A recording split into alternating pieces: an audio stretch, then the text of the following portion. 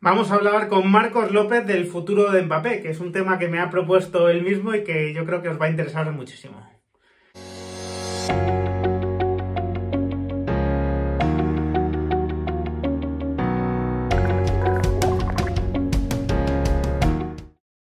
Muy buenas a todos, ¿qué tal? No cabe duda que el tema Mbappé está, bueno, pues en boca de, de todo el mundo y Marcos López me ha propuesto hablar sobre el futuro de Mbappé, dónde debería de jugar, ¿no? Creo que es un tema interesante, como siempre os digo, ¿no? Si os gustan estos vídeos, suscribíos al canal, dejad vuestro like y por supuesto mi agradecimiento al restaurante Palermo por apoyar esta sección como lo ha hecho siempre. Así que aquí os dejo la charla con Marcos. Pues me ha dicho Marcos López, oye, tenemos que hablar sobre el futuro de Mbappé y os reconozco que me ha dejado muy intrigado a ver a qué, a qué se refiere Marcos y, y nada, lo voy a descubrir casi al mismo tiempo que, que, vosotros. ¿Qué tal, Marcos? ¿Qué tal? Muy buenas. La verdad es que ha sido enigmático y tengo que reconocer mi, mi sorpresa, ¿no? Con el tema, el tema desde luego es atractivo, ¿no? Porque una vez que ha terminado el Mundial, ¿no? Y presenciamos, yo creo que una actuación homérica, ¿no? Impresionante de Kylian Mbappé en la final que recordó un poco la del Paris Saint Germain Real Madrid, ¿no? Que, no, que no le sirvió, a pesar de hacer una exhibición para conseguir su objetivo, pero que no fue por él, desde luego, ¿no? Que no, no si consiguiese. Bueno, pues la verdad es que se está hablando mucho de, de Mbappé. Yo el otro día te comento, ¿no? Hice una encuesta en mi canal con la representatividad que pueda tener, ¿no? Que es, fueron 12.000, 13.000 votos de seguramente madridistas. Y ya había un vuelco, ¿no? Hacia que, oye, si se presentase la oportunidad, sí que lo ficharía otra vez de vuelta, ¿no? Lo, lo ficharía en el, por el Real Madrid. Eh, no sé, no sé qué me quieres contar sobre Mbappé, pero, pero bueno, quieres hablar de su futuro un poco, ¿no? Pues, pues mira, eh, precisamente de, de, eso, vamos a, a, tener una charla eh, de por qué, siendo el, el, mejor jugador de la final, siendo el mejor jugador del Mundial de manera indiscutible, cómo no consigue ganar y cómo no consigue manifestar esa superioridad. Pues exactamente lo mismo ha ocurrido en el Paris Saint-Germain en la eliminatoria contra el Madrid. La, la, el fútbol eh, solo tiene una ley, que cuando tú tienes al, al mejor, eh, tienes que ganar, estás obligado, porque al final es un 11 contra 11, pero cuando tienes un jugador que supera, al final eh, tienes toda la ventaja, porque al final siempre estás jugando en superioridad. Entonces, según se iba desarrollando la final, según se iba desarrollando el torneo, eh, me fui dando cuenta de que en el futuro de Mbappé tiene que haber más criterios deportivos que no económicos y que tiene que saber entender cuáles son las condiciones para que, para que su fútbol esté al más alto nivel y pueda realmente marcar diferencias. De hecho, ya les está marcando. A su edad es el goleador eh, eh, mundial porque nadie marcó más goles antes. Eh, increíble hacer tres goles en, en una final, eh, casi toca dos títulos del mundo en el mundo actual como, como Pelé eh, antes de su cumpleaños. Son cosas increíbles. Entonces, pero me da la sensación de que, de que con Mbappé sucede una cosa, Ramón. Todo el mundo le dice, eres el mejor, juegas por libre, le dan privilegios defensivos y a partir de ahí nadie lo activa. Entonces, creo que él eh, tiene que, encontrar la manera de, de, activarse. Tiene que tener, por ejemplo, eh, hoy la charla va en relación a lo que eh, muchos habrán pensado durante la final. ¿Dónde está Mbappé? ¿Por qué, ¿Por qué no le puedo ver? ¿Por qué hasta que hay el penalti, hay el gol, por qué no tiene apenas participación? ¿Qué es lo que está fallando? Es como eh, es una realidad. Entonces, bueno, hoy vamos a explicar eh, qué es lo que estaba fallando, vamos a explicar eh, cómo debe ser el equipo para que Mbappé llegue a lo más alto, pero de manera indiscutible, y sea el, el superstar. Y creo que es muy necesario que Mbappé elija bien y después que Mbappé consiga que le hagan un equipo para él, porque no se trata de palmadita en la espalda, eres el mejor, Kylian, todos te queremos. A mí me da la sensación de que uno de los fracasos de Francia es que Deschamps no supo hacer un equipo para Mbappé. Fíjate, ¿no? Eh... ¿Y eso qué era? ¿Y eso qué era? El número 10 y el que tenía los privilegios. Desde luego, ¿no? Y estaba, digamos que estaba a salvo de obligaciones defensivas. Fíjate, ¿no? Eh, y seguramente iremos de lo concreto a, lo general, ¿no? Eh, porque hablaremos también seguramente en términos de proyecto deportivo, de carrera, pero me recuerda un poco lo que acabas de decir al caso Neymar, ¿no? Un jugador con un talento absolutamente descomunal, diferencial, para tener varios balones de oro en su museo y al margen de temas no personales o de mala suerte en un momento determinado con una lesión, la sensación es que ha tomado decisiones que no le han favorecido a poder dar todo lo que podía dar seguramente en, en su carrera, ¿no? No sé si Mbappé eh, puede correr ese riesgo, pero bueno, dejo que lleves tú la charla, que eres el que, el que tienes que, que comentar tú lo que quieras, evidentemente, y, y la idea que tienes en, en, tu cabeza. No, mira, por ejemplo, eh, acciones totales de, en la final de, de, Mbappé, 67. Pocas, muy pocas. Muy Expectativa, eh, tiros a puerta.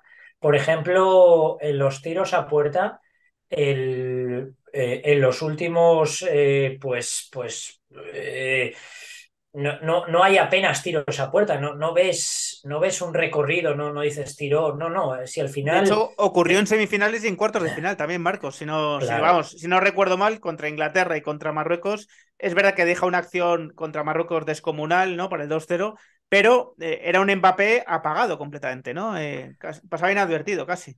Bueno, contra, contra Marruecos, contra Inglaterra, Mbappé eh, no tira puerta. Tira entre los tres palos ninguna. Y, y, tira un solo tiro, creo recordar, a nivel estadístico. De los últimos seis tiros que hace Mbappé en el Mundial, tres en la final, tres contra Polonia, al final marca cinco goles. Eh, claro, eso es un potencial el que tiene increíble, pero hay que activarlo. Entonces, tú dices, bueno, es que eh, tira muy poco a puerta. Sí. Eh, sobre todo porque deberían de provocar que tirase mucho más. porque al final es un jugador letal que llega en ventaja al gol y que cuando tira tiene una definición muy rápida y hace, obliga a los porteros a ser muy reactivos y a no tener mucho espacio ni tiempo para, para poder decidir. Lo primero, porque Mbappé le roba el espacio y después porque al ser tan rápido le roba el tiempo de reacción al portero. Claro. Entonces, eh, tú dices, bueno, eh, tiros a puerta, muy pocos. Pases, eh, muy pocos, apenas combina, apenas toca. Después, regates, siempre ves situaciones muy marcadas donde, donde Mbappé está uno contra la ayuda y donde tiene que hacer un regate increíble siempre no hay regates sencillos, no hay, no hay cosas donde ya el defensa venga decantado, no, no, no se da eso. Y después la sensación de que Mbappé está, por ejemplo, juega con Francia como juega el Cristiano Ronaldo de 35 años o el Messi de 35 años. Eh, lo dejan ahí como un islote, eh, trabaja poco en defensa, eh, corrigen un poco el equipo, pero es como toma y métela. No, no, no, pero es que Cristiano no era así, Messi no era así. O sea, ahora mismo está en época de esplendor, época de tirar para arriba. Entonces es un error no activarlo. Mbappé, en lugar de tener 60 acciones en 120 minutos, tendría que haber tenido 120 acciones. Claro, claro. Es, es, eh, parece lugar... algo lógico, ¿no? Que tu mejor claro. jugador, que seguramente el mejor jugador del mundo, ¿no? O uno de los mejores para el que quiera discutir con otros, eh, intervenga poco siempre es una mala noticia. O sea, es que parece de cajón, vamos. Claro, porque es el cazador cazado. Parece que el rival, el rival es el que quiere que intervenga poco Mbappé, pero es el propio equipo el que no facilita que se active Mbappé. Por ejemplo, eh, me llama la atención un dato, seguramente eh, le llamará a todo el mundo. En la final, ciento, ¿qué fueron? 130 minutos, 135, no sé, con los descuentos algo, bueno, no sé, estuvieron jugando tres días. Eh, bueno, eh, solo hay 22 pases de Mbappé. Entonces, claro, es un jugador que tiene técnica, que tiene ventaja física, que, que puede combinar, eh, que se puede girar, que, que, encima le vas a dejar el pase de cara y el pase recibir porque no quieres que te gane la espalda, por lo tanto siempre es como un hombre libre, porque ¿cuántos defensas se van a atrever a anticipar a Mbappé? Una locura, claro. Por, porque en el momento que anticipan a, a Mbappé, Mbappé va a hacer así el defensa va a ir y les va a ganar la espalda y de cara a portería. Entonces, a Mbappé le dejas tocar siempre. Entonces, claro. de cara a aplicar un rondo, es un jugador que está liberado. Porque en el momento que tú le quieres encimar, ¡pum!, te gana la espalda. Chao, jaque mate. Entonces, una final donde mete gol el equipo contrario, uno y dos goles, donde tienes más balón y solo das 22 pases, creo que habla del gran fracaso de Francia de no saber activar a Mbappé y me da la sensación de que en el Paris Saint Germain eh, ocurre exactamente lo mismo. Entonces, creo que Mbappé es imparable, pero en su progresión a futuro, creo que necesita un proyecto deportivo donde él sea realmente el número 10, donde él tenga la confianza y donde a él se le dé los, los galones necesarios. A ver, donde a él, a él se le diga, eres tú, pero eres tú no como goleador, no como balón de oro, tú tienes que activar el equipo, jugamos a partir de ti y jugamos contigo, porque vamos a hacer un fútbol de, de calidad. Entonces creo que determinar eso eh, va a marcar el si Mbappé es una superestrella o es una leyenda del fútbol en el futuro. A ver, Marcos, tú, tú en 2018 2017, perdona, anticipaste que Mbappé iría al Paris Saint Germain. Este, esta primavera explicaste aquí perfectamente en el canal qué es lo que había ocurrido ¿no? con, el, con el tema Mbappé. Y si ahora tuvieses información, desde luego no la vas a poder compartir porque, porque obviamente si la tienes, eh, no, seguramente no sería el momento de compartirla, ¿no? Pero, pero da la sensación, ¿no? De que Mbappé no, eh, habiendo firmado un contrato corto, ¿no? Para, eso sí que está confirmado, hasta 2024, porque hasta el 25 sería opcional, ¿no? Por, por su parte. encumbrando el Mundial como ha encumbrado a Messi, más de lo que ya estaba encumbrado todavía, ¿no? Parecía difícil mejorar su estatus, pero parece que a nivel París, desde luego, ha podido mejorar, ¿no? Con, todo lo, con todas las connotaciones que eso, que eso tiene, ¿no? Y con un Neymar que todavía tiene una presencia y un contrato largo en el País Saint Germain, porque renovó automáticamente hace hace muy poco, en verano. Claro, a lo mejor, a lo mejor a Mbappé le va a costar mucho encontrar, digamos, que el, el, contexto perfecto, el que expones tú, ¿no? El que le potencie, el que le permita él potenciar al mismo tiempo al equipo en París, ¿no? Que además no goza de los focos mediáticos que sí tiene pues la Premier League o la Liga Española, porque todo lo que haces con el Madrid, con el Barcelona o en la Premier League, pues tiene un mucho mayor foco que lo que haces con el Troa o con, o con el Rennes, ¿no? Eh, evidentemente. ¿Crees que eso puede generar en él, de alguna manera, pues la sensación de que, de que, de que tiene que pensar en la siguiente decisión, tiene que ser a nivel deportivo y no, tanto a nivel económico, que tiene que moverse de alguna manera? Bueno, la, próxima decisión o, la decisión actual siempre va a ser a nivel económico porque estamos hablando de probablemente el jugador más desequilibrante del fútbol actual. Creo que hay una cosa que, que, el Mundial evidenció. Eh, la estrella del fútbol mundial ahora mismo, el que puede ganar solo partidos, es, es Kylian Mbappé. O sea, no, no hay más. Entonces, eh, Cristiano ha pasado ya, ya página, que por cierto, eh, me da la sensación.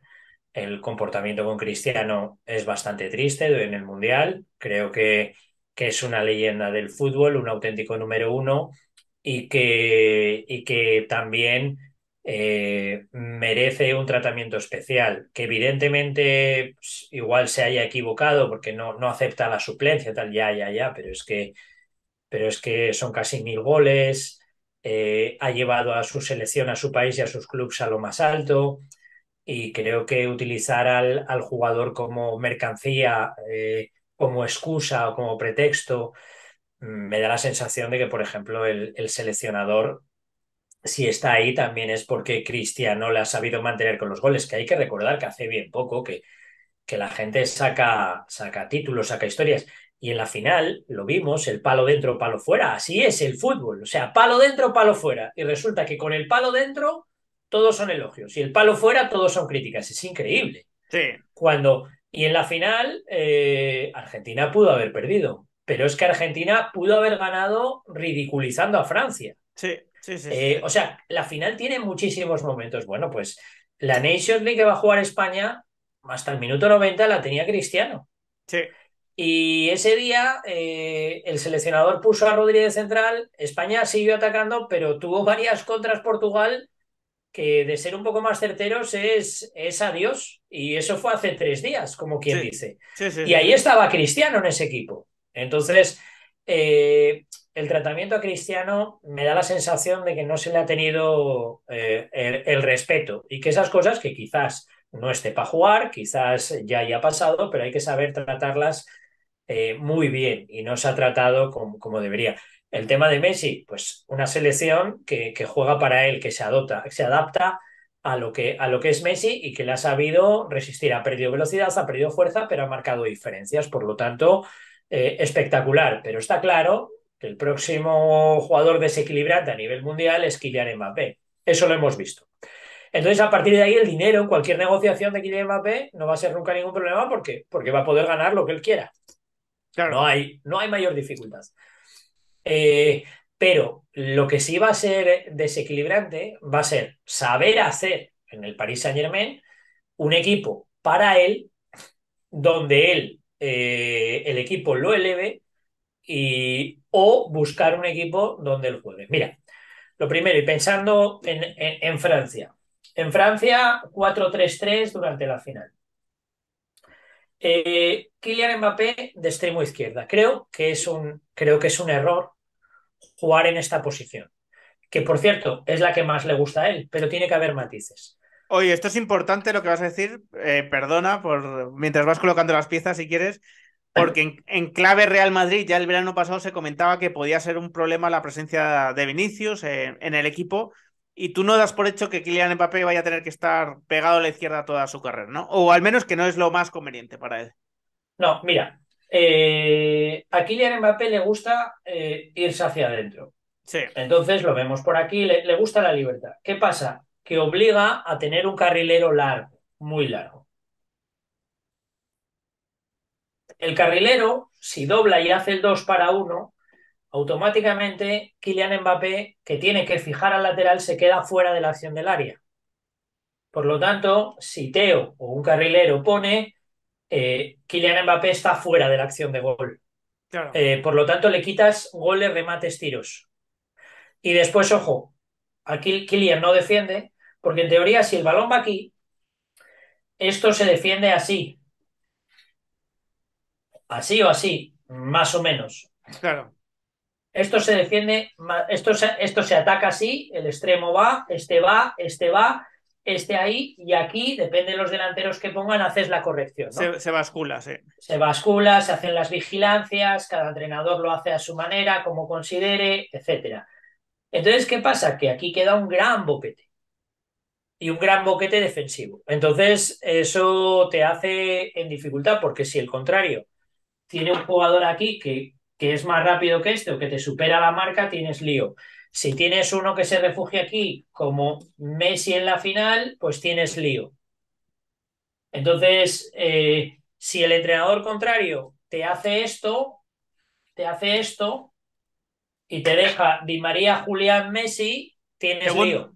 Segundo gol de Argentina en la final. Claro, tienes lío. Entonces, ¿qué pasa? Que estás haciendo una acción de ataque donde Kylian no está en el área y donde eh, tienes un riesgo increíble de vuelta. Entonces, olvidémonos de eso. Olvidémonos del lateral, que te obliga a un lateral eh, largo y ofensivo. Vayamos a esto. Si el contrario juega 4-4-2, es probable, es probable que con este vaya este, pero este vaya a la ayuda. Entonces tienes un 2 para 1 aquí contra Kylian, pero si superas a este, tienes al central derecho. Si superas por fuera y si superas por dentro, tienes al pivote. Claro. Y este te va a cerrar. ¿Qué pasa? 1, 2, 3, 4, 5, 6 jugadores cada vez que Kylian recibe la pelota entre el balón y la portería. Tienes que hacer la jugada de los tiempos y en espacio muy reducido. Entonces, que Kylian caiga a banda izquierda, está bien. Vimos eh, el gol de, de, Francia contra Marruecos, sí. el primero. Entonces, Kylian recibe aquí. Vamos a poner a la defensa de Marruecos. Kylian recibe aquí, toca, toca al centro y Kylian automáticamente se va a la espalda de los pivotes, de Unagi y Anrabat. Entonces, si, si, alguien quiere ver la jugada repetida, la jugada se desarrolla, empieza Kylian aquí, juega para adentro y Kylian eh, va a la vertical de Giroud, a la espalda de Anrabat o de Unagi, no recuerdo cuál de los dos pivotes estaba en este lado, y se queda aquí en vertical. ¿Qué pasa? Que aquí se queda libre de marca. Cuando llega la situación de área, aquí está Kylian Mbappé solo. Empieza desde aquí, pero no juega aquí. Eso es. Entonces, eh, hay que liberar a Kylian de, si recibe la pelota, tener seis por detrás más la ayuda interior, y hay que liberar a Kylian de el boquete defensivo que, le, que se genera aquí, porque el lateral está permanentemente obligado a doblarle. Una manera de doblar en la cual, si se haces la jugada por ahí y, por ejemplo, se la das a Teo, tú la jugada acaba con una situación de área donde tienes que marcar únicamente a Giroud, porque Dembélé tiene un porcentaje de goles eh, muy bajo. Eh, e, entonces, al final quitas al mejor del área y en cierta manera no estás favoreciendo. Entonces, eh, banda izquierda. Mm, no, seguramente no, porque claro, aquí he metido 22 pases en una final de 130 y pico minutos. participación, cada vez que recibe, tiene que tener, tiene que la sensación de que tiene que hacer la jugada de los tiempos. Entonces, se genera una expectación en el estadio porque tú de repente, eh, y, en tu casa, perdón, porque claro, de repente llevas cinco minutos sin saber de Mbappé o diez y de repente coge el balón. Oye, que la toca el bueno de repente, sí, sí. Claro, pero es, que de, repente se va. Entonces, cuando acaba la jugada, ¿qué, tienes? Bueno, esto esto lo gana Francia si se la das a este pero hay que dársela muchas veces y en ventaja. Balones en ventaja Mbappé, ninguno. Semifinales contra Marruecos, no tira a puerta. Partido de cuartos contra Inglaterra, no tira a puerta. Eh, claro, al final tú le das el 10, le das el privilegio, pero, pero no la activas. Entonces, ¿dónde debería de, de jugar Mbappé? ¿O cómo debería jugar? Yo creo que es muy claro que por dentro. Yo creo que es clarísimo. A él no le gusta jugar de único 9. Ahí no le gusta jugar. ¿Por qué? Porque se queda solo con este recorrido y, una distancia muy corta entre centrales y portero. Porque después eh, se olvidan de él para tocar. Pero es que eh, Kylian eh, tiene que aprender a jugar con sus condiciones físicas de 9, de 7, tiene que aprender a jugar de número 10. En el momento que sea el número 10 de un equipo realmente, eh, su fútbol va a ser, va a ser obsesión pararlo. Va a ser obsesión pararlo porque, porque es eh, tal cual.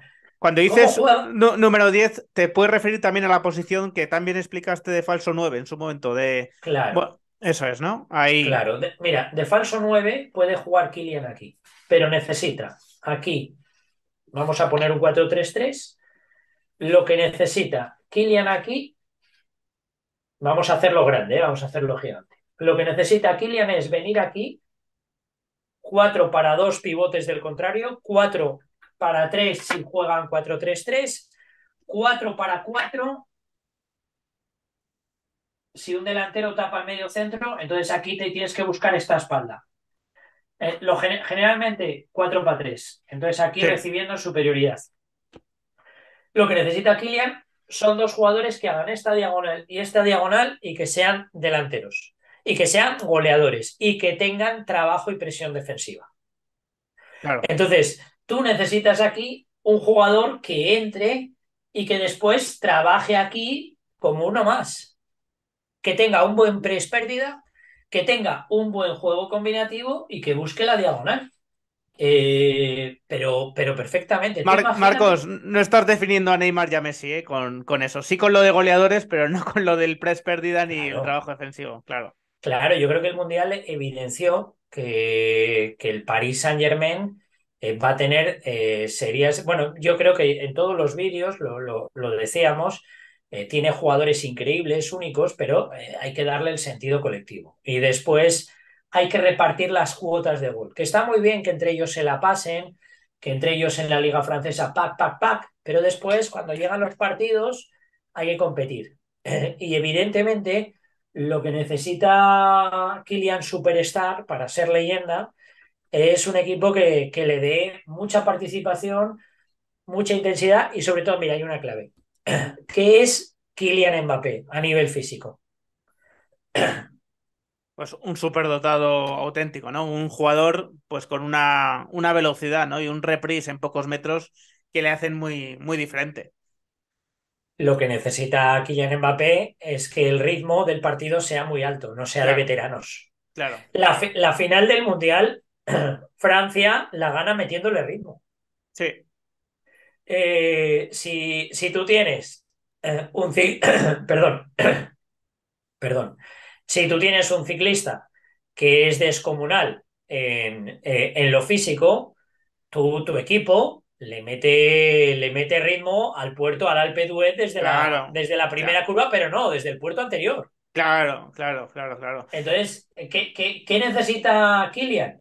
Un equipo que le meta mucho ritmo al fútbol. Claro, O sea, necesita, eh, vamos a poner ya un equipo, pero no, no quiero señalar a nadie, solo quiero que la gente dibuje eh, cómo sería eh, el equipo donde debería estar Kylian, donde sacaría su máximo potencial y donde, si ellos fuesen Kylian, ¿qué decisión tomarían? Claro. Eh, ese es el objetivo de, de la charla.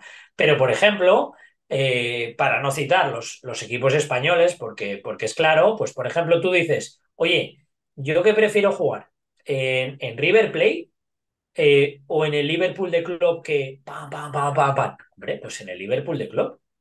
te va a ¿Por generar qué? mucho ¿Por qué? Porque hay- es una tras otra. Claro, Entonces, claro, eh, un jugador que, eh, que en la Roma le faltaba gol, que, que en la Fiorentina estuvo muy bien, que en el Chelsea no juega como Mohamed Salah, eh, casi llega a ser balón de oro del mundo. ¿Por qué? Por la repetición. Porque Salah está todo el día en el área. claro, por- es que hay tanto volumen, hay tanto volumen que ni siquiera tienes que tener un acierto brutal para, para hacer números, ¿no? Y hacer cifras, porque hay mucho volumen. claro. Entonces, ¿qué es lo que le falta a Kylian? Volumen.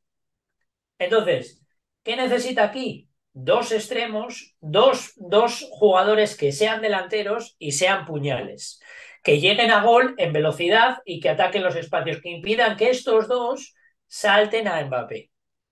Claro, A partir de ahí, a partir de ahí, a partir de ahí, Kylian Mbappé es capaz de, y vamos a poner esto que son las franjas del campo, 5 o Sí. 6 metros de diferencia. Kylian, eh, con un central de 1,90, eh, partir el desmarque al área 3-4 metros por detrás, gana él, ¿eh? sí, sí, sí, lo gana. Entonces, él no necesita estar aquí, él no necesita estar al borde del fuera de juego. No, no, no, no, no, él, él puede partir desde atrás. Entonces, aquí busquen dos jugadores que tengan diagonal, que tengan gol, que sean mentalidad delanteros y que jueguen como centrocampistas. Que tengan buen pérdida y que sean solidarios con el equipo. No superestrellas, solidarios. Eh, al final, eso es una ventaja. Cuando, cuando llegue la hora de defender, superado el pérdida, el equipo montará un bloque de 10 jugadores más portero y Kylian será el primero en salir a presionar. A partir de ahí, no será el equipo de Kylian como los equipos de Messi, de Neymar, de Cristiano últimamente, donde 10 curran y uno mm, está descansando. No, Es no, no hay, no y- recovery, no hay recovery. Según pierdes, a presionar, a apretar. Y cuanto más grande sea el partido, más aprieta Kylian. ¿Por qué? Porque hay un equipo detrás que le está empujando. Entonces, si tú vas a esto y después tienes bloque, la cosa mejora. En medio campo, ¿qué necesitas? Necesitas gente con recorrido, con pierna larga para robar, que gane duelos y que la pelota vaya muy rápida. Un ejercicio habitual tendría que ser un rondo aquí, donde mucho ritmo, donde la clave es encontrar a Kylian, si la portería está allí, a Kylian ya encarado para portería. Entonces tú le tienes que dar el balón en ventaja ahí y ya sale. Entonces, en el momento que Kylian recibe, estos son 4 para 3. Y aquí Bueno. resuelves. ¿Por qué? Porque estos se cierran, estos se cierran, este ataca. ¿Qué pasa si este corta? A partir de ahí el espacio para Kylian y para adentro. Entonces, es todo, es todo mucho más, más simple. ¿Qué pasa? Que, que situar, por ejemplo, hay una, una sensación eh, en la selección de Griezmann eh, durante el Mundial. Eh, jo, lo conozco desde, desde chaval, trabajé para Sí. la Real Sociedad.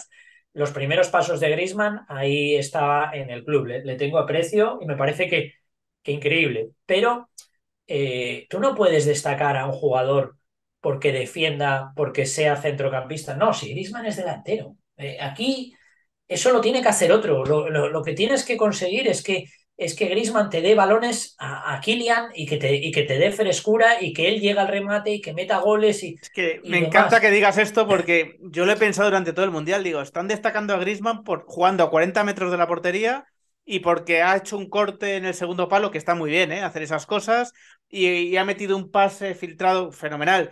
Pero el Griezmann que es, vamos, que se llegó a pensar que podía estar en la mesa de Cristiano y Messi o que estuvo en una gala de balón de oro, no era porque hiciese eso, era, era porque metía goles, porque, porque incidía ¿no? en los partidos, en el marcador, ¿no? en el resultado directamente.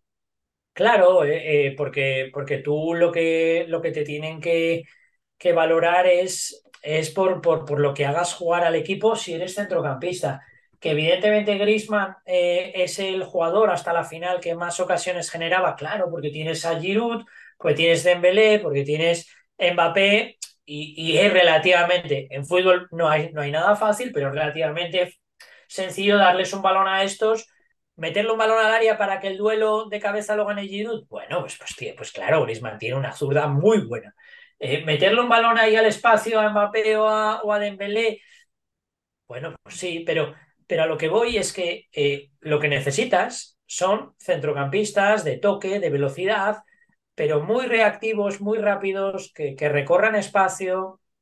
Por ejemplo, a, Mbappé le, vendría muy bien jugar con, eh, pues con mediocampistas eh, tipo Bellingham, eh, tipo jugadores de pierna muy rápida, de que, piensen muy rápido, pues otra barbaridad, pues, pues, pues, dime. Es que Marcos no, no lo va a decir explícitamente, pero yo creo que muchos podéis leer entre líneas. O sea, quiero decir, centrocampistas de pierna larga, con recorrido, ¿no? Eh, con capacidad física, con dinamismo. Pues jugadores como Bellingham, como él, como Valverde, me imagino, ¿no? Con jugadores con, con capacidad, ¿no? De, de, poderle meter un ritmo más, como metió Francia en los últimos minutos, ¿no? Con Colomuani con Turán en las bandas, que no son superestrellas, pero son jugadores que empezaron a ganar muchos duelos, ¿no? Y que empezaron a, a encimar a Argentina. Vamos, que Kylian Mbappé en el futuro debería pensárselo del Madrid porque parece un equipo que podría adaptarse perfectamente a sus, a sus circunstancias, ¿no? Y a, su gusto, por el equipo que está montando también el Madrid, ¿no? Con Vinicius también en la banda, con, con jugadores de es, es muy claro que, que, necesita un equipo eh, hecho para él. Porque al final él va a ayudar al equipo a llevarlo a lo más alto. Y esto que se puede entender como un ego desmedido es eh, la naturaleza competitiva que todos quieren ganar. Entonces, sí, evidentemente el, el, Madrid, el Madrid sabe hacer equipos para los jugadores que marcan la diferencia, así ha sido en su historia. No, no es el Madrid un club eh, de entrenadores o de sistemas tácticos estrictos o... Eh, no, no, yo juego 4-3-3, 1-2 toques que me hacía gracia, decían, bueno, Messi, Messi decía él que, que se quedó sin jugar de, chico, ¿por qué? Porque en el Barça era uno o dos toques y eso de la acción individual no valía.